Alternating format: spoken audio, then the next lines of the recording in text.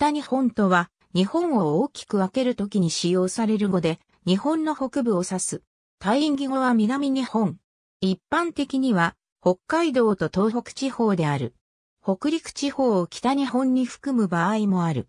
2018年10月1日時点の域内推計人口は約1404万人。宮城県と北海道を除き、毎年1%もの苛烈な人口減少にさらされており、2015年までは南日本よりも人口が多かったが、2016年に逆転されている。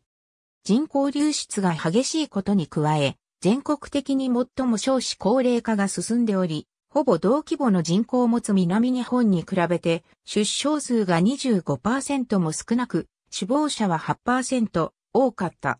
2019年の統計では、出生者数と死亡者数の比が2.2倍にも達した。南日本との差もさらに拡大し、出生数は26%少なく、死亡者は10%多くなっていた。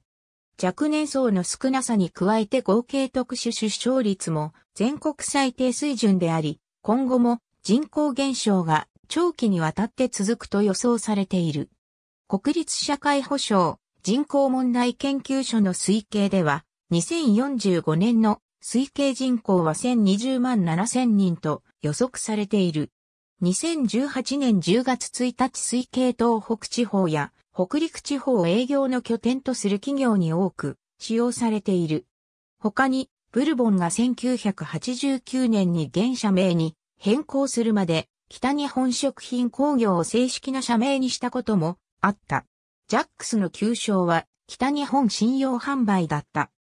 諸外国の駐日外国大使館が東京特部に設置されることから、諸外国の中には北海道、東北、北陸の各地方を管轄区域とする駐日外国総領事館または駐日外国領事館を札幌市、仙台市または新潟市に設置している。この項目では北海道、東北、北陸の各地方に設置される駐日外国総領事館及び駐日外国領事館を列挙する。